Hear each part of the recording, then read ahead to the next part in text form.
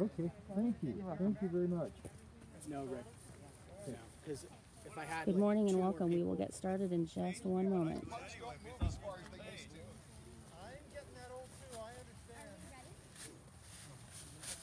Big parade was sort of a modified Eddie. No parade. I like this one. What? I honor. Do the military. Keep, keep it military. That's what I have to do with it. Okay. Okay.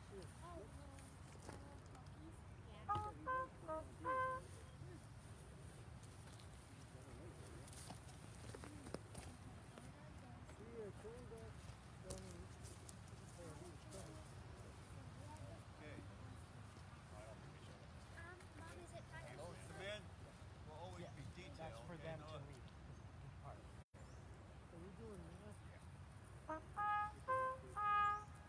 Okay, so when you guys come in, you're just gonna that short hand me the read, and come right back. Okay?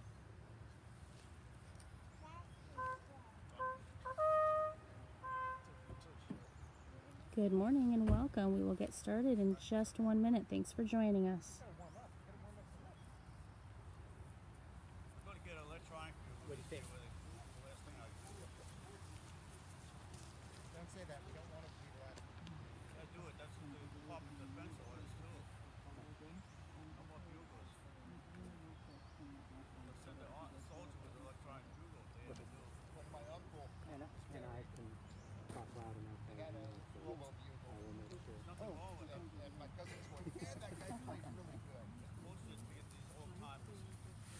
Like, you can't tell the difference. The guy doing it through the motions like Yep. plus five Unless he hundred has bucks. confidence that while the bugle is going. I'm proposing the next meeting five hundred bucks to write it.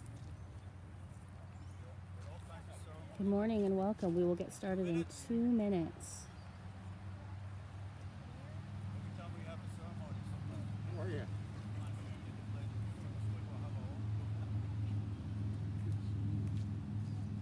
So if I haven't told you, You ain't nothing right I've never had a burial like that.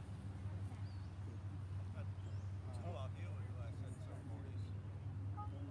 One at Preston. One at Carnation.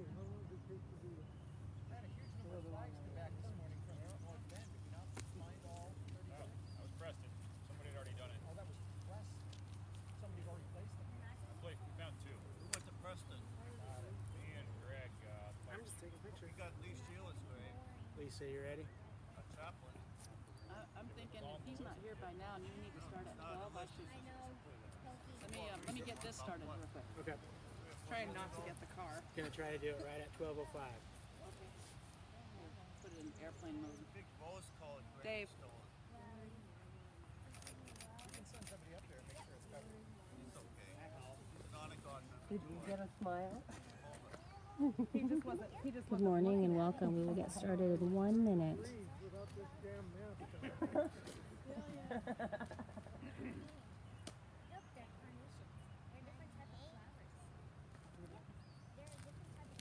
Folks, we're going to begin and it will be recorded. My favorite?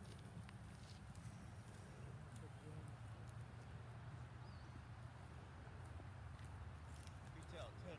What? Good afternoon.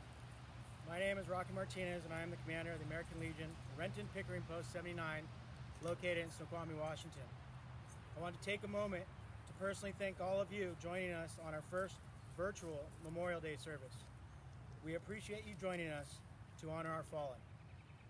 So, on behalf of American Legion Post 79 and our auxiliary unit, the Veterans of Foreign Wars 3436, the Vietnam Veterans of America, and the American Legion Riders, I welcome you all to our observance upon this day. Memorial Day began following the Civil War as a time to honor the dead of that terrible conflict, both the dead of the Union and of the Confederacy. This special day to remember the human loss of both sides was celebrated first in 1866, and by a provident coincidence, ceremonies took place in Columbus, Mississippi, and Waterloo, New York. In 1868, the Commander in Chief of the Grand Army of the Republic, John A. Logan, ordered that May 30th of that year be set aside for the purpose of strewing with flowers or otherwise decorating the graves of comrades who died in defense of their country during the late rebellion. Over the years on Memorial Day, since 1971, celebrated on the last Monday of May, has become the time when the United States thankfully remembers and honors its citizens who have died during war and in the service of their country. We remember those of our nation who bore the honored title of Veteran of the Armed Forces and who have died in the past year. I would ask you to rise as the colors of our nation, the flag under which our brothers and sisters fought, and the colors of our veterans organization are presented. Detail. You said? Color guard, 10, hut, Advance the colors. forward.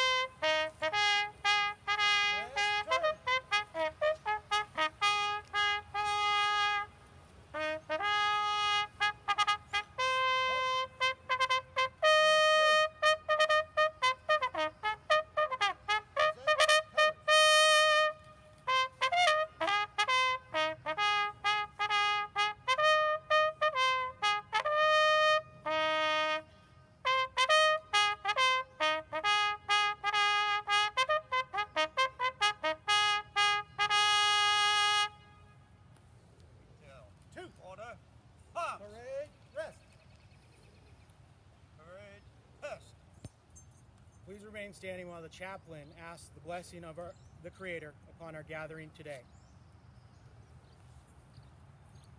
Prepare for prayer. Heavenly Father, we thank you for the opportunity we have to be here in this honored place. Lord, we ask your blessing on our on our service here and as we honor those who fell in the line of duty.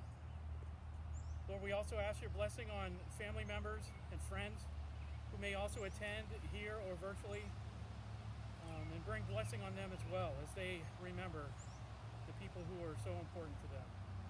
Lord, help us to remember that they are not names on a wall or names on a, on a monument somewhere, but they are actual people. And they are our sons, they are our daughters, they are our parents, grandparents, and our friends.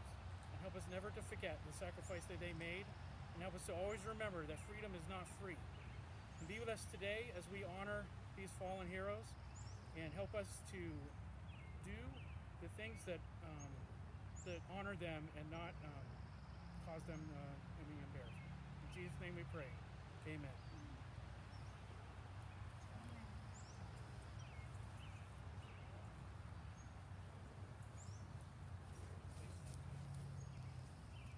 Please join us in saying the Pledge of Allegiance. Detail. Attention. Hut.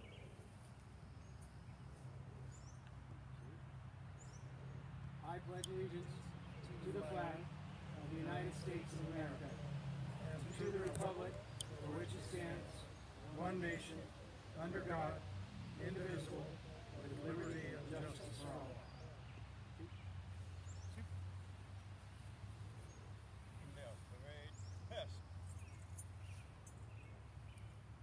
Since the first shots fired in the Revolutionary War, Americans have answered the call to duty and given their lives in service to our nation and its sacred founding ideals. As we pay tribute to the lives and legacies of these patriots on Memorial Day, we also remember that they sacrificed to create a better, more peaceful future for our nation and the world. We recommit to realizing that vision, honoring the service of so many who have placed love of country above all else. As Americans, we will always defend our freedom and our liberty. When those principles are threatened, we will respond with uncompromising force and unparalleled vigor. Generation after generation, our country's finest have defended our republic with honor and distinction. Memorials, monuments, and rows of white crosses and stars in places close to home like Arlington, Virginia, and Gettysburg, Pennsylvania as well as far flung battlefields in places like Flanders Field in Belgium and Busan in Korea, will forever memorialize their heroic actions standing as solemn testaments to the price of freedom. We will never take for granted the blood shed by these gallant men and women, as we are forever indebted to them and their families. This year marks the 75th anniversary of the Allied victories over Nazi Germany and Imperial Japan in World War II. As we commemorate these seminal events, we also remember the tremendous cost at which these victories came. More than 400,000 souls of the greatest generation perished during the titanic struggle to liberate the world from tyranny. In his address to the nation on Japan's surrender, President Truman's words remind us all of our enduring obligation to these patriots for their sacrifice. It is our responsibility, ours the living, to see to it that this victory shall be a monument worthy of the dead who died to win it. As we pause to recall the lives lost from the ranks of our armed forces, we remain eternally grateful for the path they paved toward a world made freer from oppression. Our fallen warriors gave their last breath for our country and our freedom. Today, let us pause in quiet reverence to reflect on the incredible dedication of these valiant men and women and their families, invoking divine providence as we continue pursuing our noble goal of lasting peace for the world. In honor and recognition of all of our fallen heroes, the Congress, by a joint resolution, approved May 11, 1950, as amended, 36 U.S. Code 116, has requested that the President issue a proclamation calling on the people of the United States to observe each Memorial Day as a day of prayer for permanent peace and designating a period on that day when the people of the United States might unite in prayer. The Congress, by Public Law 106 579, has also designated 3 p.m.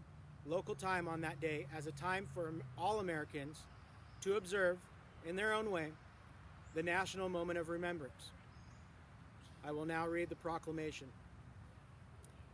Now, therefore, I, Donald J. Trump, President of the United States of America, do hereby proclaim Memorial Day, May 25th, 2020, as a prayer of permanent peace. And I designate the hour, beginning in each locality at 11 a.m. of that day, as a time when people might unite in prayer. I further ask all Americans to observe the national moment of remembrance beginning at 3 p.m. local time on Memorial Day. I also request the governors of the United States and its territories and the appropriate officials of all units of government to direct that on Memorial Day the flag be flown at half staff until noon on all buildings, grounds, and naval vessels throughout the United States and in all areas under its jurisdiction and control. I also request the people of the United States to display the flag at half staff from their homes for the customary forenoon period. In witness thereof, I have hereunto set my hand this 21st day of May in the year of our Lord 2020 and of the independence of the United States of America, the 244th, Donald J. Trump. Please join us in a prayer of remembrance. Prepare for prayer. Heavenly Father, we once again thank you for the opportunity we have to be here. And Lord, we we stand here in front of this um, honored place, in front of these honored men and women who uh, died and perished for our freedom and our peace and our liberties that we enjoy, and help us never to take that for granted. And Lord, we remember that on these monuments here, on your monuments in cities around the state and around the country, and in our nation's capital, especially on the Vietnam War Memorial, that they are not just names, that they are people, they are human beings, they are friends and family members. We have many standing here who have felt the pain individually and, and abroad virtually, who have felt individual loss and are suffering today um, in remembrance of, of the people who have fallen. We ask that you be with them, give them comfort and peace that only you can give. We ask that you help us to remember them and honor them in this small way for the price that they paid for us so that we can enjoy the freedoms and the liberties that we enjoy every day.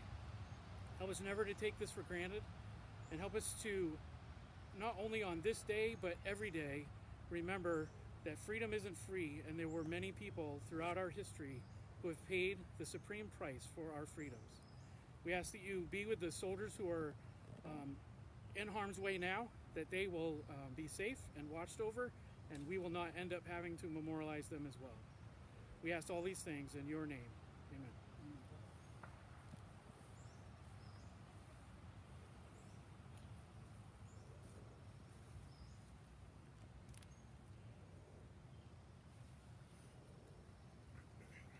Every crisis has new heroes. During the 9 11 attacks, they were the first responders running into burning and crumbling buildings as others ran out. Now, during the coronavirus pandemic, the most visible heroes are the healthcare professionals who are saving others and risking their own lives while doing so.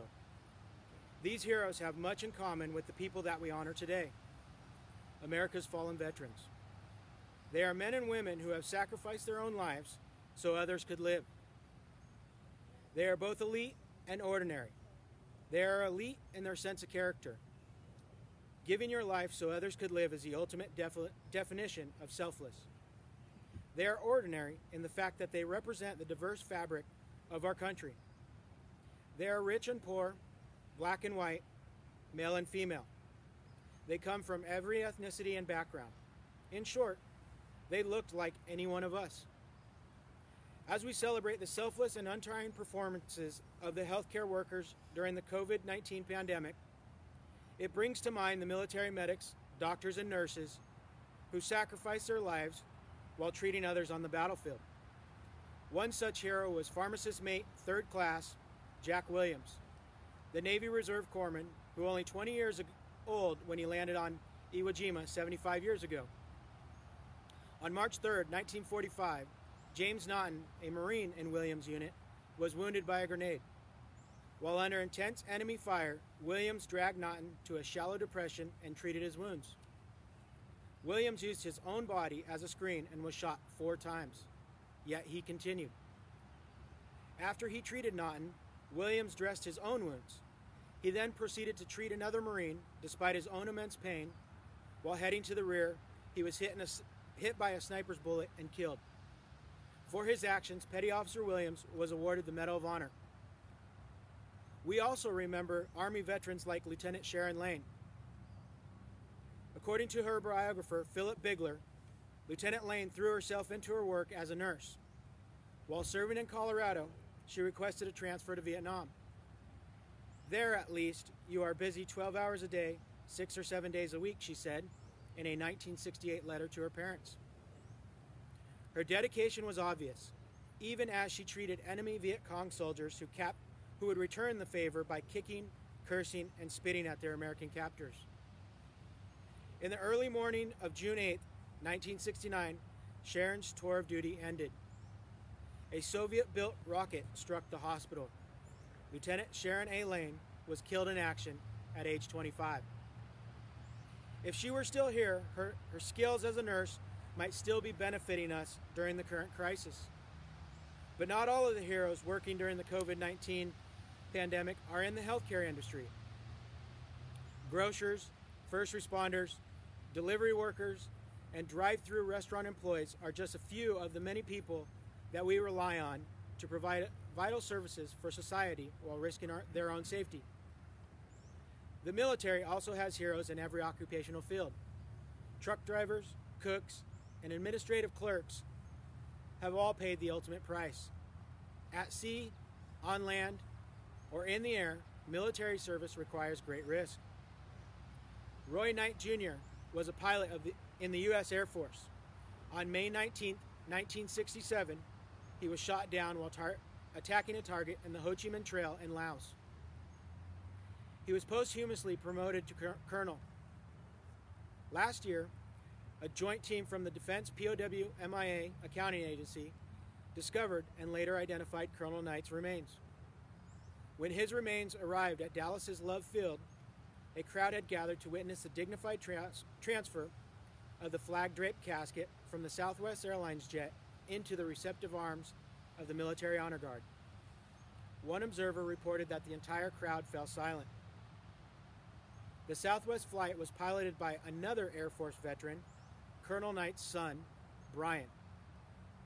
Brian Knight was only five years old when he said goodbye to his father as the elder Knight left for Vietnam.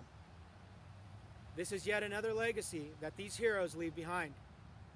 A legacy that includes their sons, daughters, grieving parents, grandparents, and friends.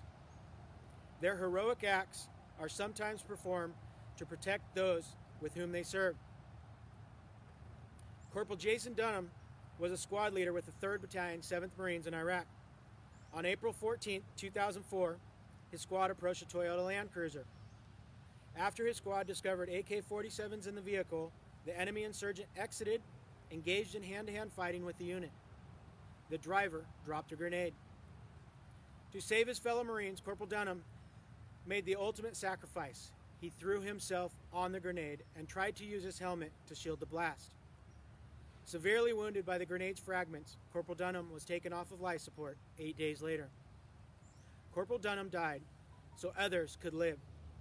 He too was awarded the Medal of Honor for his gallantry. Approximately 1 million men and women of the U.S. military have lost their lives in defense of our nation since the founding of this great republic. Not all have died from enemy fire. Some have died from diseases that have too often festered around war zones. Oftentimes, deaths from disease and accidents outnumbered casualties caused by enemy weapons. During the Spanish American War, 60 soldiers from the all black 24th Infantry Regiment volunteered to serve as nurses. 36 of them would later die of yellow fever or malaria. A generation later, the flu would kill nearly 16,000 U.S. soldiers in France during World War I. Another 30,000 American service members died in stateside camps. These men and women could have isolated safely in their homes, but they knew they had an important job to do, a mission to accomplish. They were all on a mission to serve. Even when the enemy is an invisible virus or a microscopic germ, the sacrifices made are just as meaningful. The U.S. military has already lost service members to COVID 19. This Memorial Day, as we continue to honor those who fell for us in battle, let us also pause to remember those who have sacrificed their lives while serving others. May God bless them and may God bless you for remembering them here today. In closing, upon this Memorial Day, we gather thankfully, for God has given us the gift of memory that we might keep alive those we love. In the rising of the sun and in its going down, we remember them.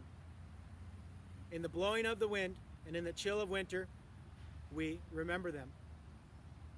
In the opening of buds and in the rebirth of spring, we remember them. In the blueness of the skies and in the warmth of summer, we remember them. In the rustling of the leaves and in the beauty of autumn, we remember them. In the beginning of the year and when it ends, we remember them. When we are weary and in need of strength, we remember them. When we are lost and sick at heart, we remember them. When we have joys and special celebrations we yearn to share, we remember them. When we see our nation's young marching behind our flag or hear taps played, we remember them.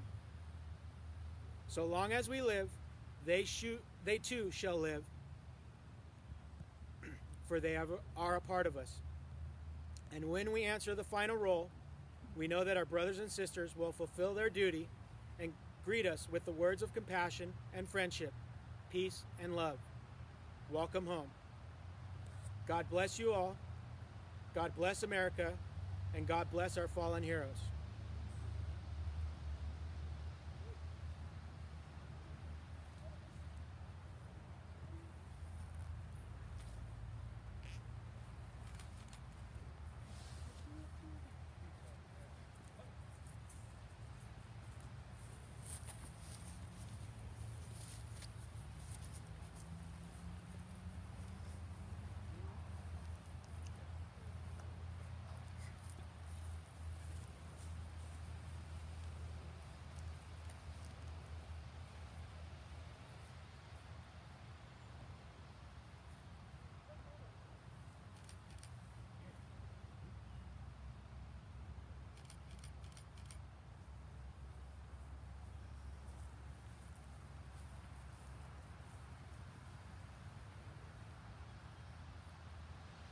Fire three volleys.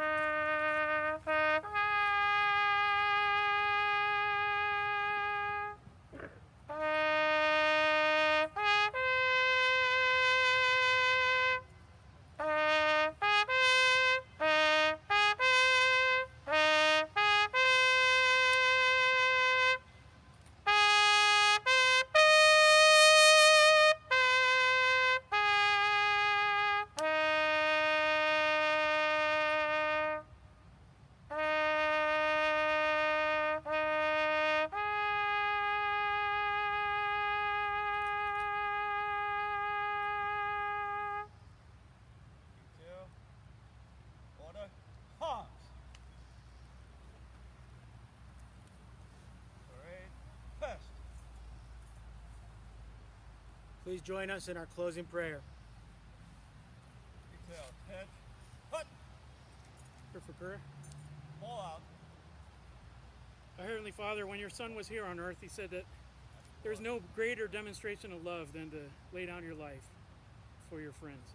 And um, today we have tried to honor those who have done just that for us. And um, we uh, ask your blessing on what we have done here. We ask that you be with the families and the loved ones and the friends of those who have um, who have paid the supreme sacrifice for our freedoms. We ask that you never let us forget them and that you keep them in our minds. We ask you be with those families and give them comfort and peace as they go about the rest of today and as they go about the rest of their year. We ask that you be with our leaders of our nation and you and, and instill in them the desire to pursue peace and, and to seek peace over any kind of conflict to avoid um, situations like this. We ask that you be with our, our local governor as he makes choices on our behalf. We ask that you give him um, protection and you give him wisdom and to do so. We ask that you be with the first responders and the people who are on the battlefield of, of today in our nation. That the people who are helping um, the sick and, and in putting themselves in harm's way in order to do that. We ask that you be with them, give them peace, give them, protect them as they do that, and watch over them and their families. We ask all these things in your name. Amen.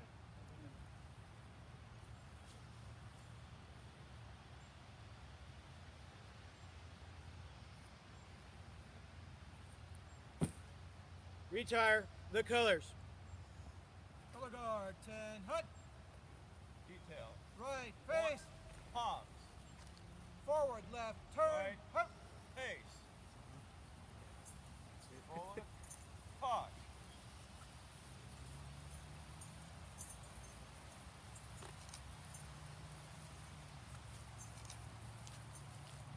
Detail. Hold. Left. Pace. Order. Pause. Color guard, dismissed. Detail. Two. Miss.